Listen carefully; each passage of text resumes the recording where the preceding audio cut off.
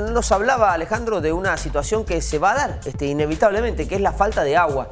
Y hay que prepararse y habrá que tomar medidas para poder paliar esta situación que evidentemente se va a hacer una constante, lamentablemente para nosotros, al menos en los próximos años. Después veremos si surge algo producto del cambio climático que nos favorezca en torno a esto, pero por ahora el pronóstico, Agustina, no es muy alentador, lamentablemente. Bueno, todos los años en octubre se conoce cuál es el pronóstico de escurrimiento, en este caso de irrigación, y que nos cuenta más o menos en qué estado se encuentran los ríos de la provincia de Mendoza.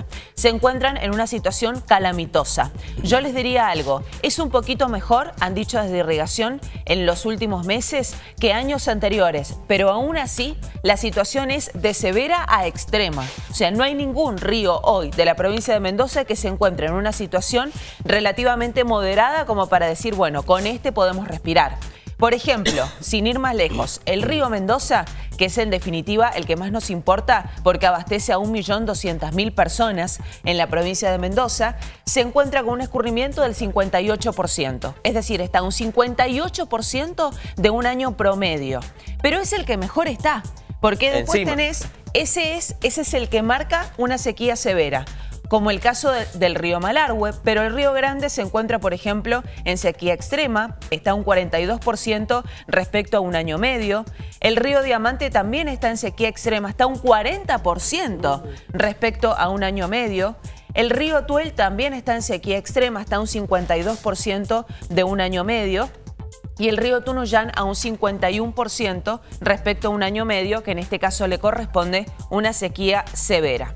Ahora, se preguntarán ustedes qué impacto tiene esto para los consumidores, para nosotros. Desde irrigación e incluso desde ISAM, siempre lo que han dicho es que nosotros como consumidores somos los que tenemos, por supuesto, prioridad, los hogares residenciales. El tema va a estar con los productores, que todos los años les anuncian con anticipación cómo va a estar la temporada, cómo viene la disponibilidad de agua y en función de eso tienen que establecer distintas estrategias.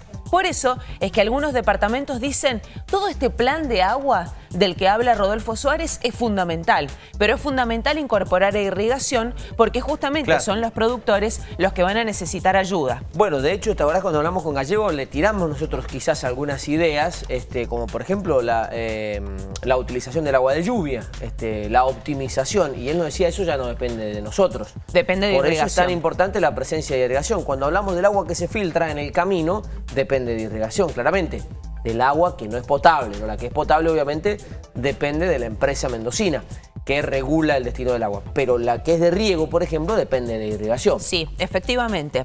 Ayer estuvo hablando en Radio New Sergio Marinelli, el superintendente general de irrigación. Lo vamos a compartir con ustedes porque da cuenta de esta situación, como les decía, extrema que vivimos en la provincia de Mendoza se acabó eh, este pensamiento, este enfoque de que hay una crisis que puede pasar el año que viene. Esto ya es una realidad permanente que puede tener altibajos, ojalá y puede pasar, algún año nos sorprenda con un año bueno, pero la tendencia general es a la baja y por lo tanto debemos dejar de pensar o tener esa expectativa y prepararnos y seguir tratando de ser cada año más eficientes, trabajando mejor en la conducción, que es nuestra tarea directa, en la distribución y también cada uno en el uso que le dé al agua, en la aplicación si es el agro o en, en lo que tiene que ver con el servicio público.